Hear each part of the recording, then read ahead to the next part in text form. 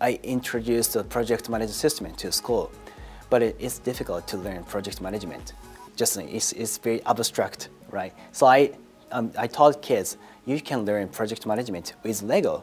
So I made a, a group of five, five or 10 students, and then they created, hey, you guys make a gymnastics, you guys make a main building, you guys make a chapel.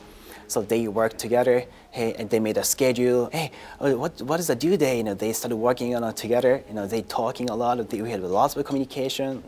They, they are very responsible. I'm responsible. I'm working on this. Do you, need guys need help? I have a, you know, I'm free time. You can, you know, students just started working independently. That's wonderful.